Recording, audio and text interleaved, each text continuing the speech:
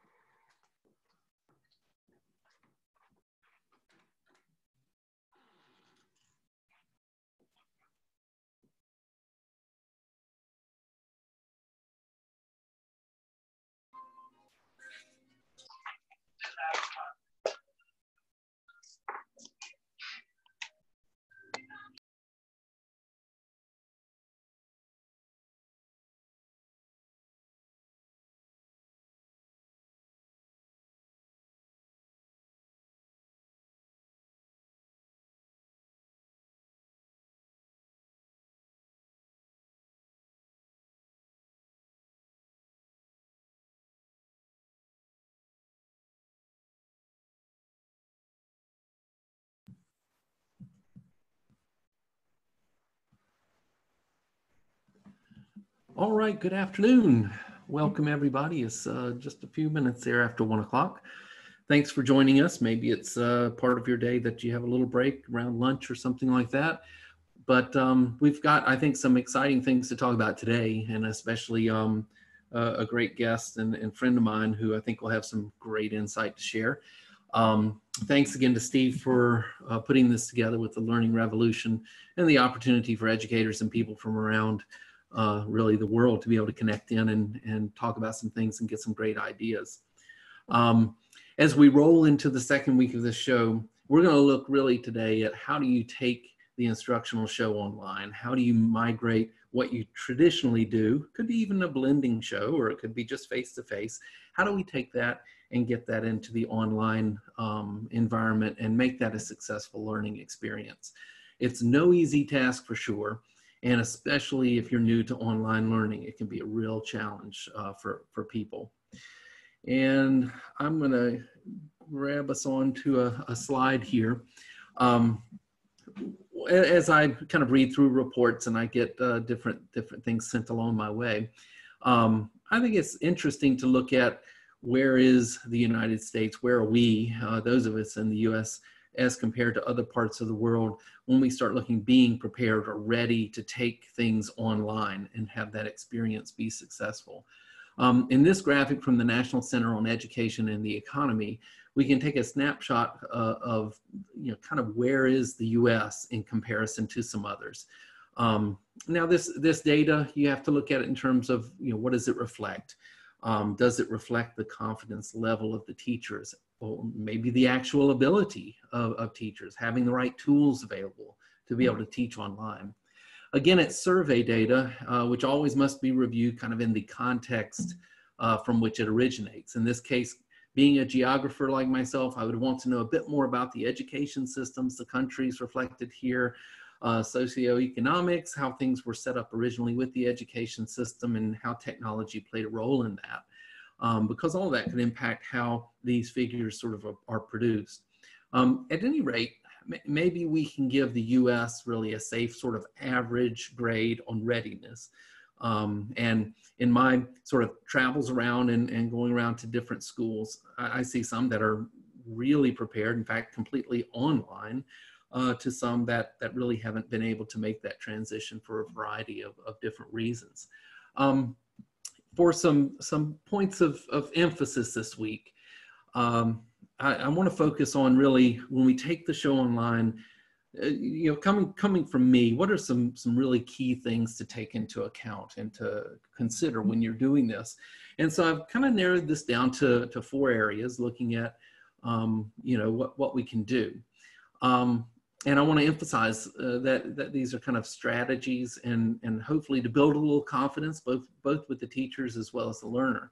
Now on the screen, you see there she is, Miss, you know, Madeline Hunter, uh, circa 1970s or so. Uh, and, and what would Madeline do? I mean, if she was around and, and, you know, if you've been in education a while, you always heard seven step lesson plan and so forth. And um, certainly she would have a feeling and, and, you know, an idea, but unfortunately she can't be a guest on the show, but we can uh, use kind of the foundational work of the seven step lesson plan from many years ago to start looking at how do we take that model, one probably you've used face-to-face -face teaching if you've been around doing this for a little while and apply it to online learning. I think that if you have a reliable teaching model, model that you use, then there's usually a great way, once you think about it a bit, to kind of transition that an online learning environment.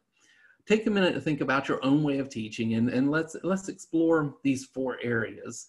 And, and we'll explore home base. What, what do I mean by that? And then a learning library, and then connecting out through media, and then looking at communication. Let's first take a look at this idea of home base. Now, this could look very familiar to some of you um, because we talk about things like learning management systems or LMS.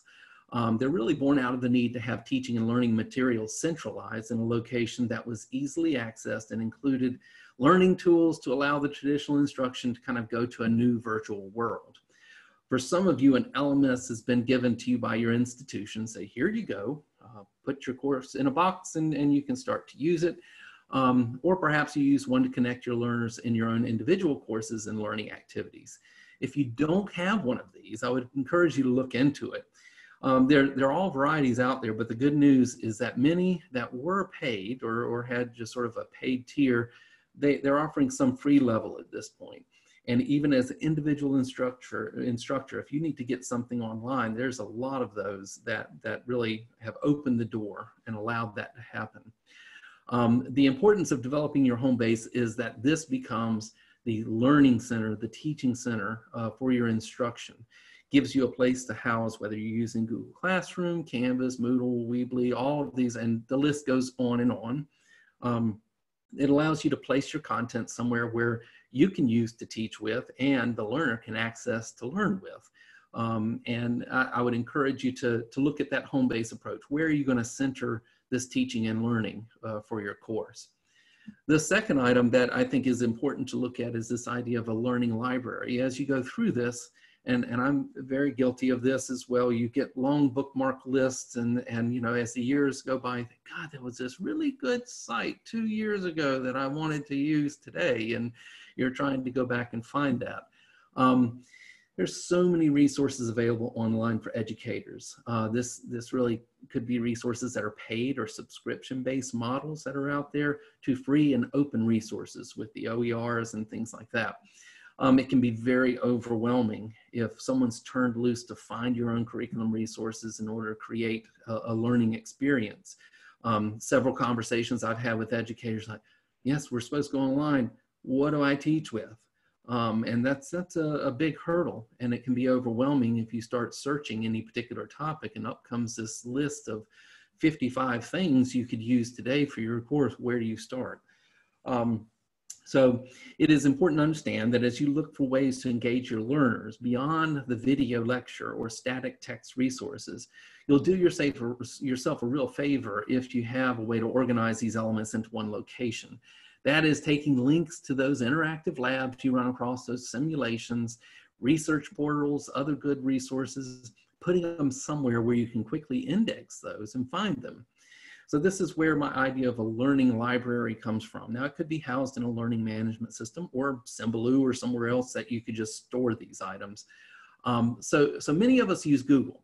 And I would start uh, by kind of encouraging people to look at Google Keep as a way to sort of store and retrieve these things.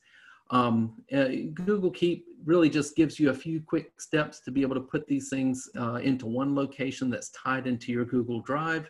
You can share these with other educators, with other people you're working with, and you can tag things and search for them. And it just, it puts all of that in one location to help you organize your resources. Perhaps you want to put them in, in certain sorts of topic uh, headings. Uh, you could easily do that. Um, there's a lot of resources we'll talk about today. And just as a reminder, um, at the very end, and again, uh, at the URL for the web page I've set up, I'll have links to all of these uh, for you to be able to jump on and take a look at yourself a little bit further.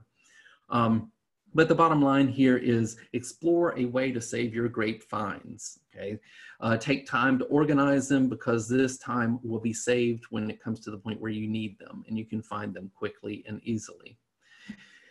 The third thing is, is really to uh, connect through media. Um, sometimes this is done in a traditional classroom. I mean, you can have someone who stands and lectures for 50 minutes, I suppose, uh, but a lot of times people are adding in things like PowerPoints, presentations, um, along with their learning. Um, but I, I, would, I would tell you, take a look at how can I use media now that we're completely online to help give that visual or, or that, that sound or audio piece that would help them learn and understand the context, context better. Um, the old phrase, pick up a book and learn something, has a lot of truth in it in terms of being able to read and discover new, new things. As we move this teaching online, text is necessary and it's a part uh, of providing that information to students. But we must also take time to discover how other media formats can really engage our learners more completely um, within the context of the lesson. Um, I find, uh, you know, working with educators and course designers that this is often a real skill hurdle.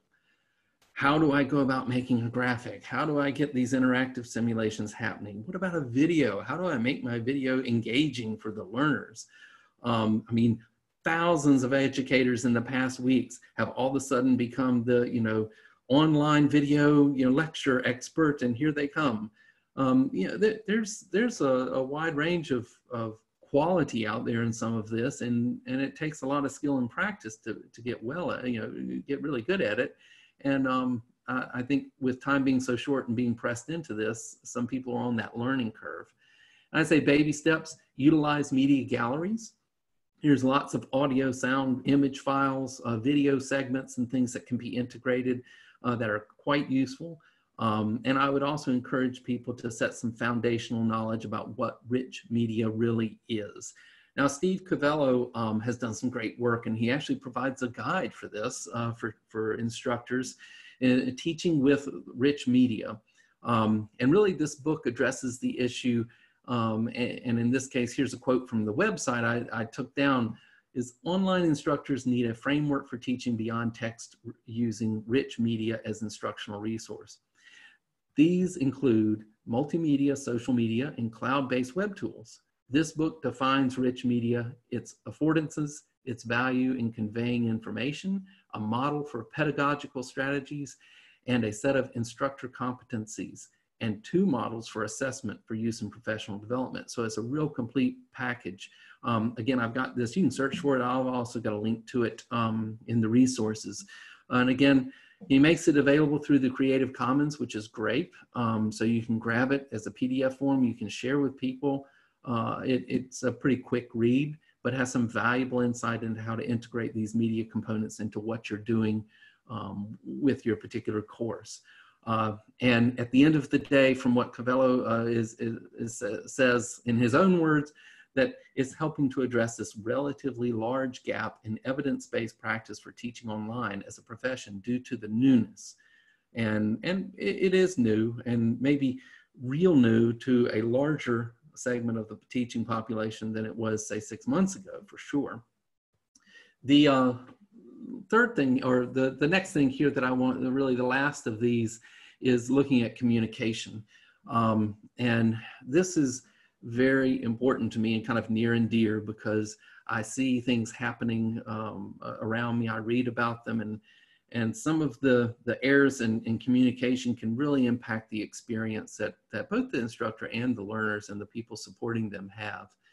Um, and I would say that through my review, looking at communication to learners from schools and districts, teachers, others, um, they're really focusing on things you, you hear the words compassion flexibility understanding supportive and positive and and these really should be the lens from which we craft our messages uh, to to help them have some sense of normalcy during a highly unusual situation beyond those themes and and, and good strategies to start kind of crafting things from Um, I think there's a, a, couple other things, and I list these at the top. We're looking at really succinct.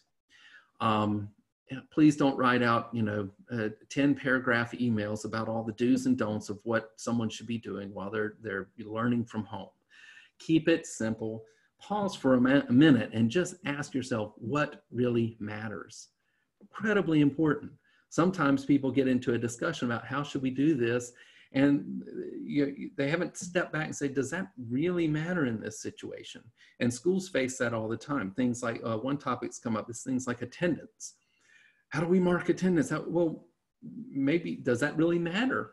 It does or doesn't. I mean, I think those are initial questions you have to ask. Um, another thing is is really clarity of vision and what do you want the experience to be like for learners and their support structure communicate this de uh, de in detail and clearly and repeatedly because people need to know that mission because that gives them the foundation from which everything else should come from. It's, it's setting the tone, it's setting the expectations, and it avoids kind of the negative do's and don'ts rule list that, that can come. It really turns things around in a positive. How do we want this experience to be for you? And here's what we're going to do to make it that way. Um, things can happen like setting a weekly message, uh, doing kind of a brief, quick in, in, information session, could be, be online even. Um, I would tell instructors to start and end your lessons the same way to structure the flow of learning. Um, really make it consistent in this very different uh, framework that, that you're operating in as much as possible. Gives the learners comfort, knowing kind of what to expect each day. So I would tell you, take a little bit of time just to ponder those ideas as you're approaching this. And most people are up and running with this at the moment, but maybe some food for thought as you, you begin to refine and perfect what you're doing and offering to people online. Um, I, I want to kind of move on to, uh, well, what I've been looking for today myself really is an opportunity for uh, Kelly and I to, to have some conversations, share with uh, everyone there um, about education and technology. Um, Kelly Walsh is, is CIO and, and CISO, uh, an assistant press, uh, professor at the College of Westchester in White Plains, New York. Um, and Kelly's done a lot of things, namely, uh, one thing I've been really connected with is emerging ed tech. Um, he, he is, uh, well, run that as long as I've known him, so uh, good, good long while great resource for educator anybody in in teaching and learning and using technology some some great tools coming through there when he sends out the newsletters and so forth. Um, he does a lot of speaking he does a lot of articles and authoring of things for um, higher ed for business and education um, as well as maintaining his very personal uh, endeavor there with emerging ed tech um, and I'd like to, to welcome him and thank you, Kelly, for, for being a part of what we're going to discuss today. Well, uh, thank you so much, Dave. I'm really glad to uh, be able to have this conversation and to hopefully uh, add on to the great insights and tips and ideas that you've uh, presented already. Well, that, uh, that's great. I, I, I mean, I really like emerging ed tech. I've always really enjoyed being able to see the variety of content you have there. And, and I, so I wanted you to give, uh, give the rest of the listeners just a few minutes sort of overview of, you know, what are you trying to do with that site? What do you hope people get out of that site? And, and as you look towards the future, what do you, what do you want to do with that? Uh, sure. So um, when I came to education in 2008, uh, I was not in education prior. I had been, uh, I've always been an IT manager for a long time. But I felt when I got to higher ed that I really landed in an industry I, I cared about. And it was a fascinating time, particularly in terms of technology. So around 2008, the whole social media thing was becoming very real. You're really starting to see that this is going to have an impact. And blogging had become a thing. And um, I like to write. and I said, you know what? Let's give this a shot. I hopped on Blogger, started writing a little bit about instructional technology, and and that's part of the fun of it is that all these things right liking to write being interested in learning about what's happening with um, technology particularly in the instructional environment um, plus this explosion of social media all kind of came together. And it was a lot of fun. I found very quickly that it was a way to share ideas and to connect. Um, i think we're both big fans of the you know the personal learning network. We can learn so much from each other and the digital world has just uh, you know exploded that idea.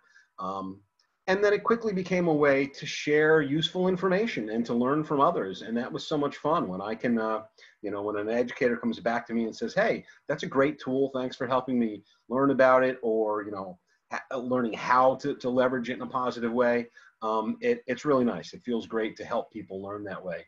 Uh, it also evolved over the years into a great opportunity to let other writers have a place to post their material. So I get a bit inundated with uh, requests to guest post, and I try and maintain the quality of the site and really look for people who understand education and the needs of educators. But then it's great when I can let somebody, you know, have an audience and have a platform. Um, so, you know, it just over the years, and I can't believe it's been uh, about 11 years since I formally established the brand. Um, it's allowed me to just, allowed me to just. Oh, what was that? Somebody's breaking up a little. What was that? Somebody's breaking up a little. So it allowed me to branch out in so many different ways. Eh, are you still hearing me okay?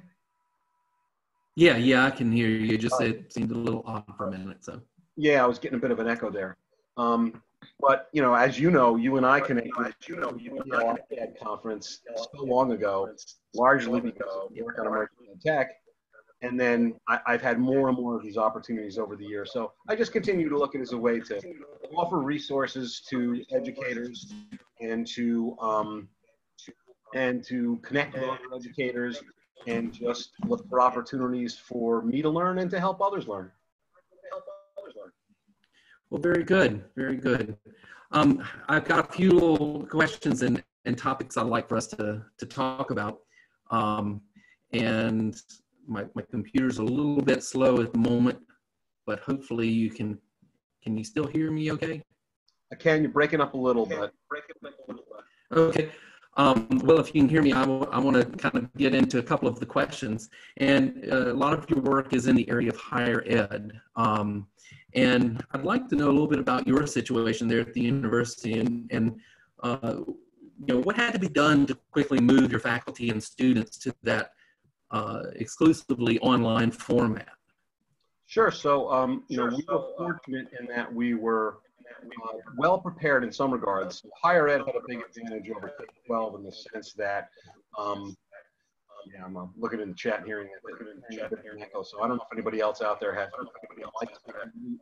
um, that might help with that. That might help. Um, so higher ed had the advantage, and you were talking earlier about the LMS and many higher ed institutions already have some online programs, and that's a really gave us, you know, we had the tools and we had people with experience, and in many cases we had many courses already built out, and that was something that was great to take advantage of.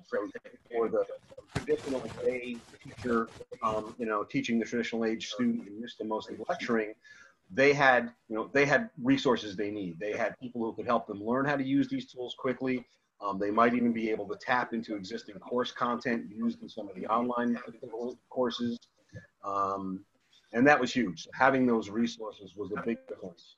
Um, another thing that really made a big difference was we started talking and planning and thinking about this very early on, and a lot of credit goes to uh, our president, um, Del Balzo, and a lot of other folks. Uh, it was, you know, super early in March that we said, hey, this could get real and we need to start thinking and preparing. So that helped to make a big difference. Um, another thing we had going for us too is our adult program in the evening is a hybrid program in which about two thirds of the content is delivered uh, in person and about a third remotely. So those teachers and those students, again, already had some experience with this online environment. Uh, um, another uh, thing that made a huge difference was standardizing. Um, so, you know, as soon as this happened, and I know a lot of educators are still um, struggling with this now, there's so many tools. And if, you know, one teacher's using one tool in one course and another teacher's using another tool in another course, uh, and so on, it can become very confusing to the student, um, challenging to support from the IT folks trying to lend support, challenging for other educators to learn. So, you know, we, we had our LMS that was in place and there was no changing that. Um, but then in terms of tools like a Zoom for remote access, we've been a Zoom customer since uh, a long time. I think we were one of the first higher education customers. And you know, we said this is what we're using. Don't start going off to GoToMeeting or you know a Google platform or something else. Let's use this tool. so that was another uh, factor that really helped out. And then leadership. Leadership was just tremendous. Um, you know, having people step up quickly, get people communicating, um, define, you know, give some structure to uh, what the suggested approach is, especially for those who are very new to this environment. Uh, that was another thing that really played a, a key role in helping to um, get it going quickly.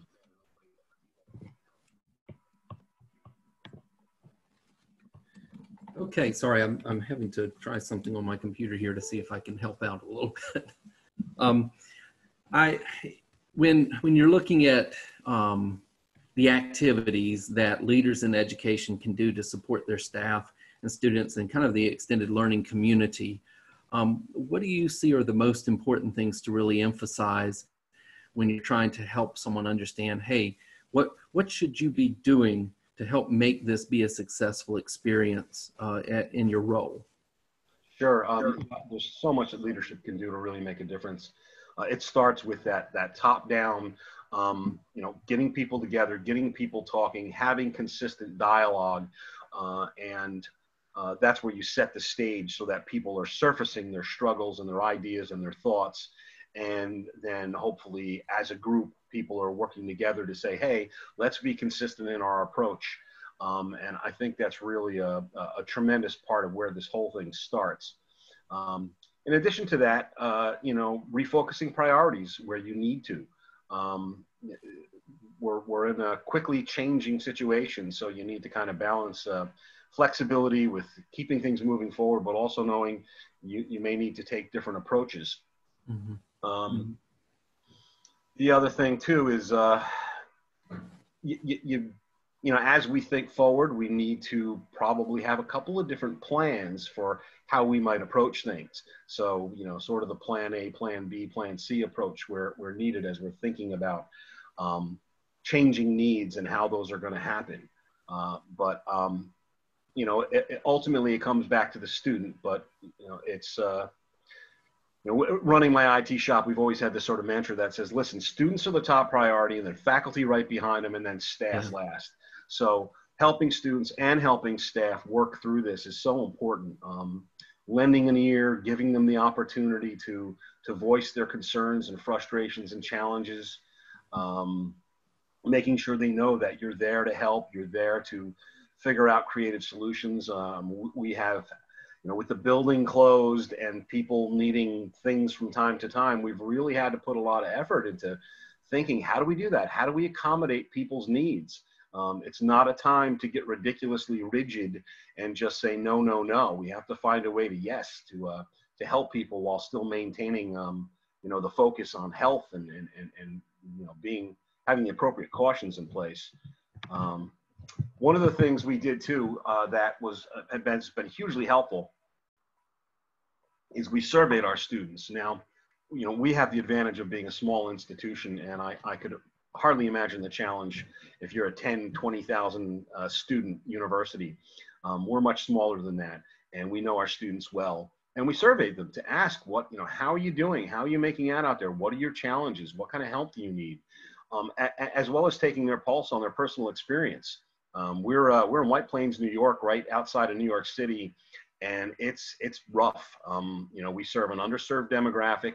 Uh, a lot of our students have lost their jobs. A lot of our students have lost family members. Um, so it's a tough time. But we're going student by student, and we're following back up with them to see what we can do to help them. Um, you know, we're extending deadlines. We're we're pushing back the next start of courses. Um, so, you know, that's been really, really important. And uh, it's one of the real blessings of being a smaller institution that we can bring a very focused and personalized approach to, uh, to helping our students and to understanding their challenges and addressing them. Yeah, I think um, certainly where you where you're at in New York, I mean, they, there's been a real struggle uh, with the current situation, and, and, of course, just in education in general, with with serving a, a group of students and trying to be quick and agile enough to be able to address those needs. Yep. Um, there's another topic that I know you're very passionate about. You've done a lot of work with this. Really, is is uh, the, world of flipped learning, um, and you know, as we we experience things, people, so many people going online, and while just teaching online is not necessarily the definition of flipped learning, um, I do think there's a lot of of what flipped learning requires out of uh, educators that could be transferred into good practice if taking your teaching online. Give us a couple ideas about how you, how you see that transition and where the role of flipped learning could play in that. Uh, absolutely. So, you know, just to, to kind of recap flip learning, um, in the simplest sense, the idea is take what, you know, used to be homework. So, you know, think of uh, a typical maybe uh, middle school, high school math class where the students sit and um, how well they pay attention is, uh, you know, varies widely from student to student. And uh, then they go home and they've got these challenging problems to work through. And for whatever reason they may be you know somewhat clueless or just struggling with it.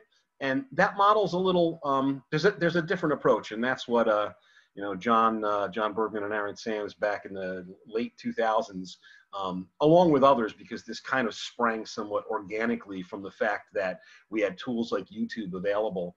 Um, they said you know what? Why don't we flip it up a little bit. Rather than using all that valuable face-to-face time in the class um, chewing it up just by delivering content um, why don't we use that time to help students where they need help? But that meant take the lecture take the content and push it outside of the classroom. So that was kind of the fundamental of where this came from. And um, there's a lot of subtleties to it and to how to do it well. Uh, but in the end really it's just kind of a form of blended learning and you know the world is increasingly blended because of the, the growth of digital. And now uh, you know you and i were talking earlier about all of a sudden it's pedal to the metal. Um, everybody's really figuring out how to how to move content online. So certainly those techniques in flip learning the idea of creating small video snippets you don't have to create them all yourself. There's a lot of ways and you were talking about that earlier in your content lots of media to tap into but ways to create learning content and resources that you use in more of a homework style capacity. Consume these things before class, and then ideally maybe even have a little um, assignment. It could be a quiz. Uh, there's a great technique I like called the, the whisk, watch, summarize, and ask a question. So maybe you give them a short video, you say, give me a paragraph on what you watched, and ask a smart question related to the material, which really gets them to think and can also start to unearth misunderstandings. Um, so there's a lot of ways that you can have them consume the content, get feedback to help you understand how well are they understanding this. Um, and then when you have your class time together through, you know, through Zoom or some online um, interactive uh, tool, you can begin to explore those, you know, how well do they understand it? How can we, you know, what do we need to focus a little deeper on? And how can we work through problems online to give them a better, a better understanding while you're there to help? And if you're using a tool like Zoom, they've got great little um, applets like these break rooms where you can have uh, let students work together in small groups online. So a lot of those techniques really lend themselves to this situation and to figuring out how to uh, move or improve uh, remote teaching.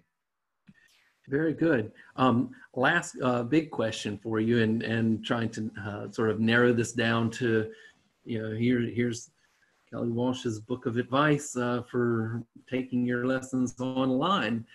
Um, what what someone you know if somebody were to call you up today and say, okay, Kelly, what do I do? Give me some advice here. Um, what would you narrow that down to right away? Well, you know, my advice would be a lot more about uh, not the technology, but the, the technique and just some ideas. And I think you hit on some of these as well and what you were talking about earlier. Um, and, and, I do, I teach, I've taught uh, in all three modalities in, in my school. So I've taught ground, I've taught in our hybrid adult programs, and I've taught online. And online in, in particular is an area where I've always been concerned about quality. Um, and uh, so some things that are really important. One is presence. You have to be as present as you can in the class. Um, I, am a big believer in video. It's a great technique to do that. I do a short video introduction um, where I talk to the students uh, at the beginning of each week in our online courses. In this remote teaching scenario, for the students to see you, to hear you, to hear your voice, um, I think it makes a really big difference in terms of their experience uh, and how they feel about it. Um, the other thing to keep in mind too is uh, Lord knows what the numbers are because you'll you can talk to different linguists and people and you'll get a whole range of answers. But some big percentage of communication is body English, um, so that's also an element. So having an online, you know, your presence as an instructor in your remote teaching is tremendously important. And and so you know if you're just sending home packets of worksheets and there's not much dialogue happening, that's that's unfortunate and it's probably not the best um, situation for the students. So that's huge presence. Uh, another thing that is just absolutely vital is feedback. Students have got to get constant feedback on the work that they're doing. Um, you know, I've, I've seen, I've experienced situations where students that I've known uh, in, you know, my own kids in their college experiences, for example, are, you know, taking more remote or online types of instruction and getting, you know, they're weeks in and they really don't know where their grades are. They're really not getting responses from teachers. And it's really, really frustrating. Um, and, you know, for me as the parent, let alone for them as the student. So it's just so important that, you know, students get feedback on assignments. How are they doing? What can they do better? Um, and knowing that they get the feedback, because I've seen that kind of misunderstanding too, well, where instructors are assuming, hey, oh, I typed these comments in this place. I'm sure the, the teacher, the students must see them. Well, ask them, um, you know, are you getting the feedback that I'm submitting through the assignment portal in the LMS or wherever it might be? Don't just assume that they're seeing it. Um, and we also know that students and to some extent the younger they are the less likely they may be checking email and those kinds of things so you know close the loop on the feedback don't just give the feedback but close the loop and make sure that they're they're getting it so um, that's a real big one. Right, presence, feedback, let them know their grades. I mean, this is kind of an extension of the uh, the feedback idea, but um, it's really important. And, and, this may be a bigger issue in higher ed. Certainly, the, the higher up your grade, your your teaching at, um, you know, uh, the more important it's going to be. Uh, but let them know their grades. You know, where do I stand? Exactly what am I, are my grades on my different assignments? Did I miss anything? Um, I really go out of my way to shove that in front of students um, because very often it's, oh, wait, I thought I did that. Oh, let me go find it and get it to you. Or I didn't do it and it's not a big deal to get done. Um, so those are three real big ones. In fact, in my little notes, I have those in caps because they're, they're really important. But, you know, some other things, uh, this is just such an unusual time and we've got to be understanding. We've got to be flexible. Um, it's not the time to get you know super rigid. Uh, and um, granted, there are rules and regulations and such that impact what we can and can't do. But thankfully, a lot of that stuff has been relaxed, and it's important to think about that. You know, a lot of students are suffering, even even those who you know their parents are working and everybody's healthy. Um, this is an awkward, difficult, weird time, right? And if you're a teenager, a young adolescent, um, it's it's a struggling time. So you know we're trying institutionally. We occasionally put out uh, you know, resources to help deal with stress, meditations. Um, you know, just it's really important to be cognizant of that.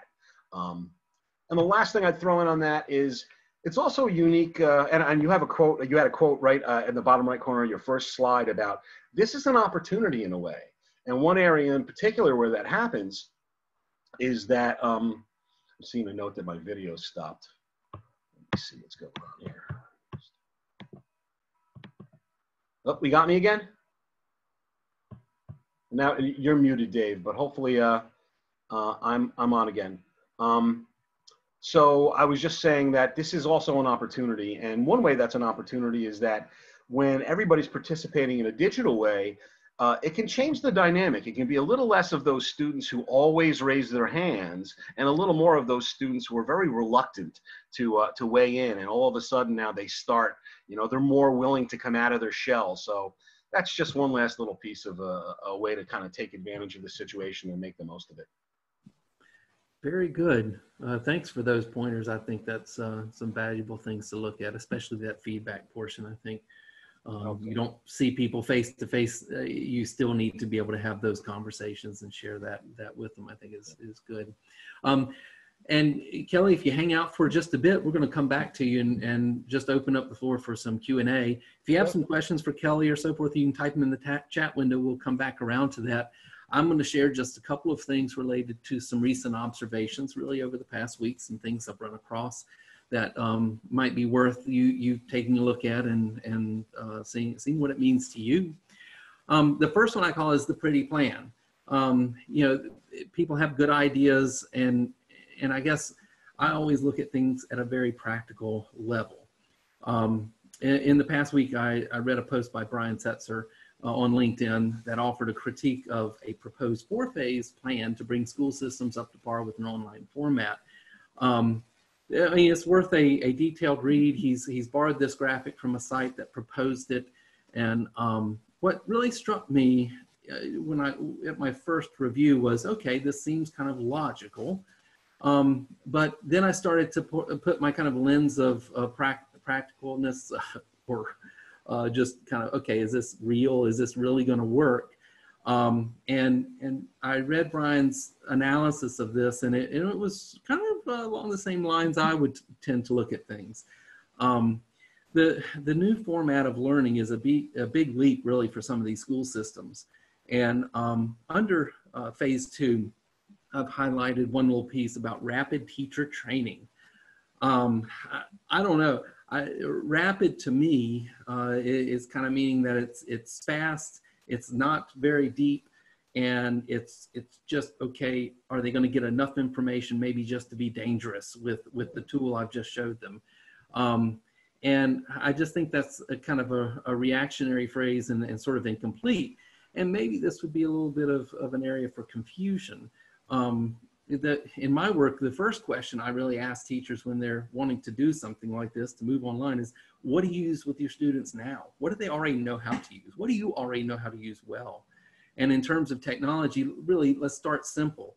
Establish that home base. Where are you going to work from and where are they're accessing to?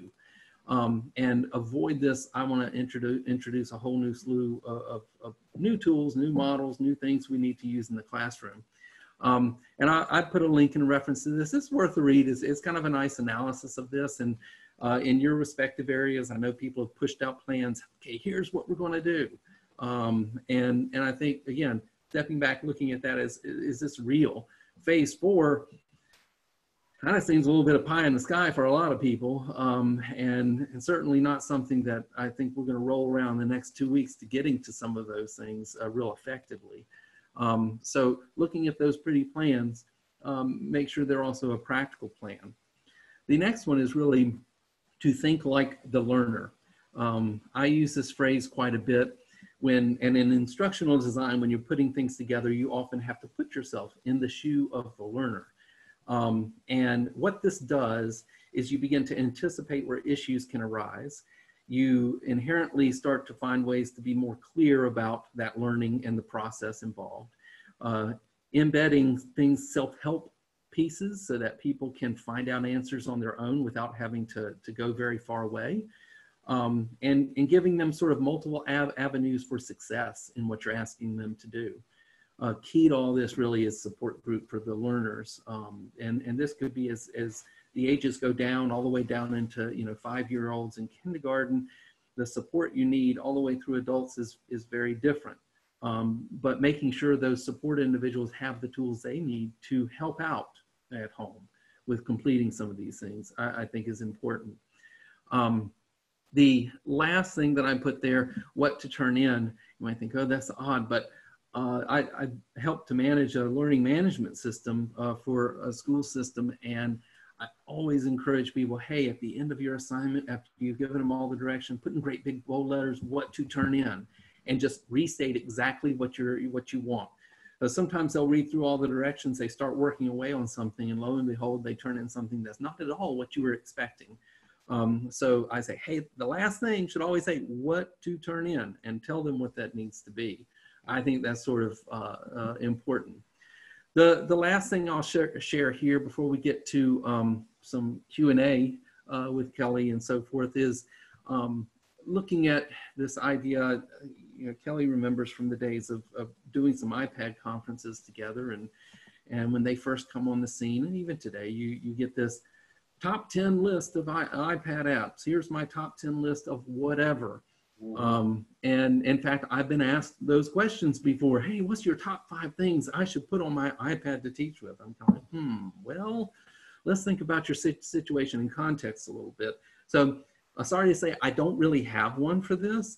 Um, plenty of other people, I'm sure, have generated these off. I, have seen a few of them, um, but I think mine are more like common sense uh, items for stakeholders in this situation to really take to heart. Um, with the leaders, communicate that vision.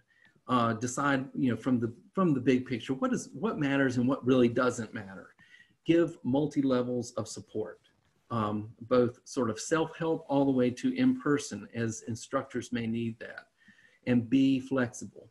Some people are going to have a little harder time transitioning than others. Some teachers connect with me much more than others because they need a little more hand-holding and learning some of the things they have to do to make this work. For instructors, really keep it simple and collaborate with your, your peers, collaborate with others who teach uh, like grade levels, age groups, subject areas, and, and share those resources back and forth. Develop a pattern.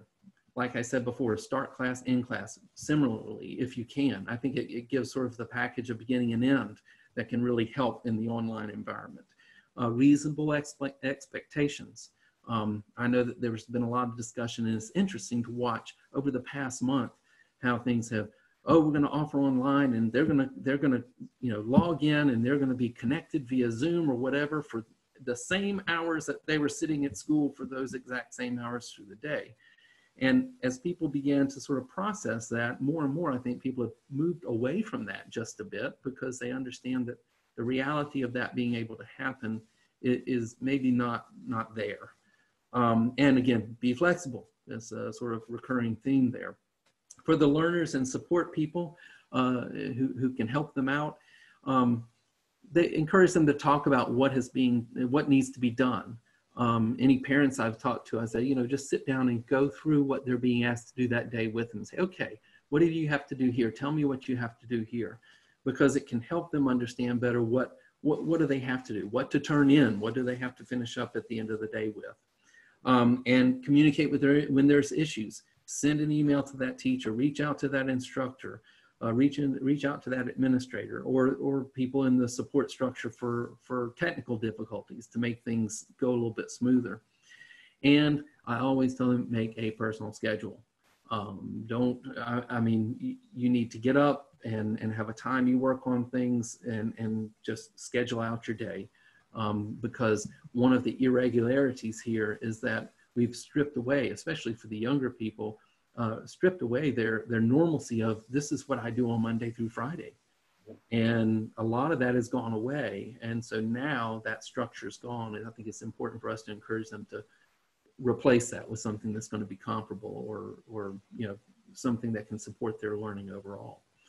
Um, those are kind of my, my observations, a couple of things. And again, um, there'll be some links and so forth. Uh, they're going in. My, my helpful assistant, my, my wife, is um, putting things into the chat window there for you for, to, to link into. And they'll also be on the um, resources page, uh, which um, I have here on this, the slide here.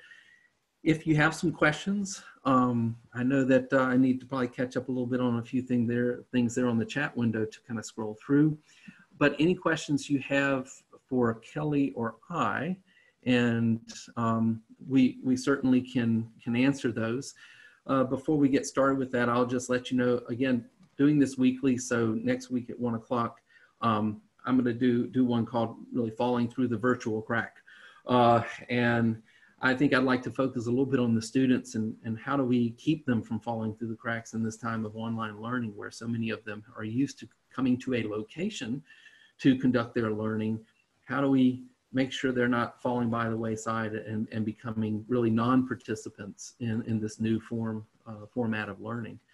A um, couple of things here in the chat window. Let's see, I've got um, Bob put in there when you factor in how much time is spent just moving between locations on lunchtime in the classroom and so forth, um, there's often less than three hours of instruction time in a six hour school day. Absolutely. Uh, that's one of the things, um, transition times in schools when I used to have to make school schedules when I was running a school. Uh, you know, you start saying, well, there's you know 11 minutes of transition time during the day 11 times you know 180 school days whatever you you really start to add up uh, quite a quite a, a, bit of time So maybe this offers a bit of an opportunity to become more efficient with the learning, and there's not that much uh, time in between. Um, I think the physical movement can be helpful. I mean, we certainly need to incorporate that maybe a little bit more purposefully and, and goal oriented. Um, but uh, I think that's a good point. Um, Kelly, you have anything to, to jump in with that? Sure. Um, yeah, just one thing, just right on what you just said there, right? That the brain learns better. Science shows that the brain learns better when we're when we get some movement incorporated in what we do, and uh, that's uh, you know now we're going backwards in that regard, right? Because most of us don't have to move as much if we're sitting in front of the computer doing this. So it's important for people to make uh, a point of doing that, and some leadership from educators in that regard would be helpful. Make sure your students are getting up and stretching and moving around a bit if they can. Um, you know, a, as you were talking, I mean, two particular challenges I've seen that are interesting. One is this thing of, do we try you know, how much do we try and run our sessions at the same time that they ran during the day? And it, it's definitely a, a it, it, there's there, there's not a super easy answer, um, and flexibility is required. Uh, on the one hand, our experience has been the more we can do that, the more advantage it brings in the sense that, first of all, we're less likely to step on each other right? If somebody randomly decides to move their stuff, well, then what happens to the other person who's running their session at that time because that's when it was scheduled? Um, I think it's good for the for the students. It, it emulates that structure they're used to. Um, but the reality of it is, because of changed circum- circumstances, not everybody can um, necessarily easily make those same times. I mean, we've got a lot of students, even traditional age students, who are, you know, they're, they're helping to watch their kids, they're helping to take care of a sick one, they're they're out working because mom or dad lost a job. So um, it's it's tough, you know, that that that balance. Um, anyway, the other thing that came to mind that did not come up, but that is a challenge I think everybody's facing, and I'd be curious to hear from others on it, is uh, technology. You know, now all of a sudden you've got people at home, and maybe there's only one one or two computers in the house, and four people need to use them. Um, and it's just not you know it, there wasn't such a crunch on that resource before. Um, so we're seeing a lot of that and um, i'm you know i'm curious to, to know how people are dealing with it. We've been trying to provide loaners to students where we can um, but that's been a funky challenge yeah i, I think that's that's right on because um, i know there's situations where you have families at home and you've got uh, the adults perhaps trying to connect in virtually themselves. You've got kids trying to navigate maybe a whole list of, of different websites or video feeds or things. Um, and, and that whole point of, of access and how to do that. I think that's what really has driven a lot of people to a decision, at least in K 12 for sure, is to say, you know what? Um, we're going to give you some assignments and you can work on these, and I'll be available from this time to this time online if you need to talk to me live about it. Mm-hmm. Otherwise, you know, here's my recorded content, here's the resources, here's the activities I want you to complete. Comes comes back to that bit of flexibility I think you have to show. Um, because then you you would run into a situation where people would kind of overlap and and what do I do when? Um, I know with with my son who's who's in college right now, maintaining that regular uh, from from what he told me, he said, well, we don't have class every day that we're meeting up together, but there are certain days of the week that he wants us to connect in, and, and we're doing a, a, a group class. Mm-hmm. Um, so I think it's been a little bit of a blend of things. Um, and, you know, the level of help, one of the things I'm really concerned about is, is on, on two ends of the spectrum. One is a five-year-old, a six-year-old is going to need a lot of assistance perhaps with some work and some things they're doing in the classroom just like if you know, my my daughter took uh, calculus AB or or something like that. I'm not a math person, mm-hmm. and I'm sitting at home and she's opening a book and she's asking me questions. I, you know, I'm not going to be much of a resource to her. So, mm-hmm. I think at both ends of that spectrum, you you've got uh, some real challenges going on in the house. Um, kids kids in general are pretty good at reaching out i think mainly to their peers or, or other things like that um, which i think you can leverage that at times uh, in your class to to help one make those connections keep those connections within the classroom uh, but also allow them a level of self-help that's not always just the instructor too sure yeah definitely an unprecedented situation huh yes Uh, Stephanie, um, uh, good to see you back. And uh, she says, I totally agree that our sedentary society has uh, big concerns here now that this is new online normal. Um, it is the place of the school to set a new tone for, for movement, holistic balance, and individual development. Hours suggested to sit and be online, indoors versus outdoors, and active, not just academic concerns, but social, physical, etc. Zoom shouldn't be, be the only teacher, and, and that's, that's quite true. Um, nice for class school community to connect with, with um, the teacher as a group. I think uh, I, I've seen a couple of things in schools where they're they're doing really some social type events leveraging some of these technologies that aren't your class per se but it's something of a gathering point. We, so are going to have a, a, virtual happy hour three, uh, today with uh, our staff and faculty. And it's a great i mean it's great for people to see each other yeah. and connect you know well, maybe it's a little too early. Well, at least where I am in, on the East Coast, you know, here is a little early for happy hour quite yet. But um, that that's a great example of how to you know bring people you're working with together and, and trying to do that. Um, this this idea of, of sitting in front of a computer doing schoolwork all day long too, I think has has some ramifications, and I think Stephanie's you know pointing that out a bit. Um, I, I think you you have to find that balance a little bit. I think we have great tools but we should try and make that efficient as uh, that learning as efficient as possible, leveraging uh, the tools we have available to us, but then also encouraging people to get outside and do the things that they need to socially and, and physically. Yeah, um, you know, following up on Stephanie's point, I hope that yeah. K to 12 world is finding opportunities to make, um, you know, counseling resources available. That's right. That's right. Uh, Bob posts when classes get back to normal, you'll be trying to figure out uh, how to mute the kid in the back of the class? Yes, I know. Uh, you know, fortunately here we could just mute away. Um, but yes, I think uh, it's a different type of classroom management going on in the world of Zoom and online than you have in person for sure. That that's that's a, a good one. Um, any other quick final questions? I do want, while, while I'm thanking Kelly here for his time today and um, joining us here in our virtual world, uh, talking a little bit and trying to pass along some great information to people working to for themselves and to help others to take their traditional education experience and and bring it online and uh, and really drive this in a way that it's going to be an, a successful experience for the learner and and I think for the skill development of instructors at the end of the day. Um, any last thoughts there, uh, Kelly, before we, before we wrap up here? Yeah, you know, I, think when uh, when things get back to whatever normal's going to be down the road, uh, that there's going to be some good takeaways. That we're gonna, you know, we're gonna have learned some things, some tools, some techniques, some ideas, and um, and maybe to some extent, this whole thing will, you know, speed up the pace of change where some change is needed in the world of education. So, uh, and hopefully, we, you know, we're all just going to be a little, a little more patient, a little, a little nicer to each other, right?